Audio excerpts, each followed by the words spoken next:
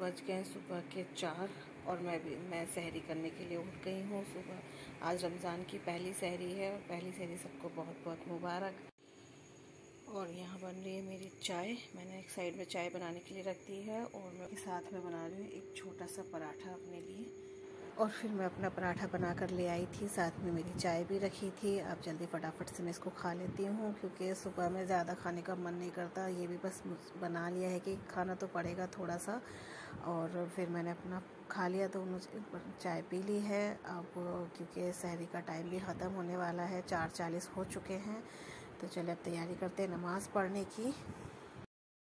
सुबह के पाँच बज रहे हैं। सहरी का टाइम ख़त्म हो गया रज़ारे भी हो गई हैं तो जल्दी से नमाज़ पढ़ लेते हैं। Hello friends welcome to my new blog और सुबह तिलावत करने के बाद मैं सो गई थी और अब उठी हूँ सुबह में दस कर, दस बज रहे हैं। और बंकू मेरे साथ उठा है और वो उठते ही रोने लगा कि मुझे क्यों नहीं उठाया था? सुबह सहरी में मुझे भी रोज़ा रखना था तो मैंने उसको भी समझाया कि बेटा आप अभी रोज़ा रख लो, अभी से भी रोज़ा हो जाता है। आप खाते पीते रोज़ा रख सकते हो। और फिर मम्मी बनाने लगी थी यहाँ पर केक। और केक के लिए पहले वो निकाल रही हैं मैदा। दिखा रही थी इसकी रेसिपी कि कैसे बनाना है। इसमें सबसे पहले उन्होंने मैदा मिलाया। मैदा को अच्छे से घोल लिया। इसको दूध में मिक्स कर लिया है और उसके बाद इसमें बेकिंग सोडा डाल रही हैं। और सब कुछ अच्छे से मिक्स करके इसको इस तरीके से पतला रखना है। ये बता रही हैं। और इसको फिर इन्होंने दो पार्ट में निकाल लिया है, दो हिस्से में, क्योंकि एक को वाइट रखना है और दूसरे में मिलाना है कोको पाउडर तो ये इसमें मिला दिया उन्होंने।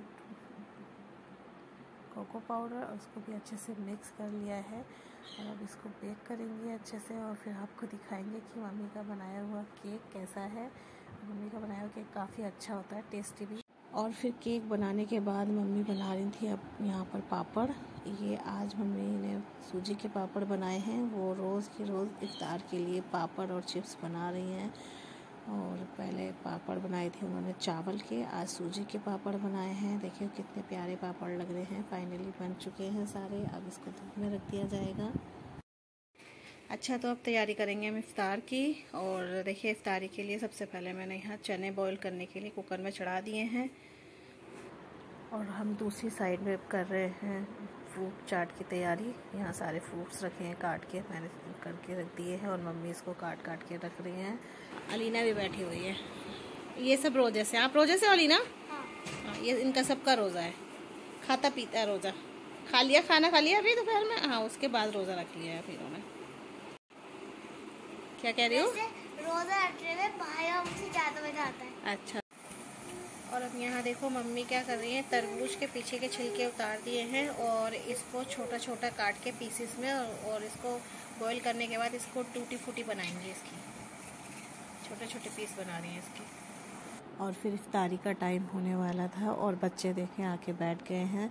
यहाँ पर अलीशा बैठी हुई है और दो इधर साइड में बैठे हुए हैं बंकू और अलीना। मम्मी का चीते वाला केक रेडी हो गया। चीते का डिज़ाइन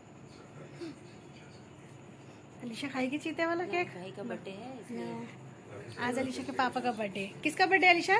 मेरे पापा ये अपने पापा से केक कटवाने जा रही है। जाओ कटवा लो। और ये हमारे गमले के ऑर्गेनिक टमाटर छोटे छोटे प्यारे से।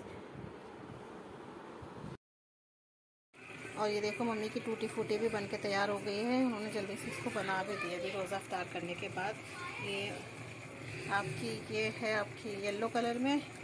ये रेड कलर ग्रीन कलर वाली फूटी फूटी अभी पक रही है।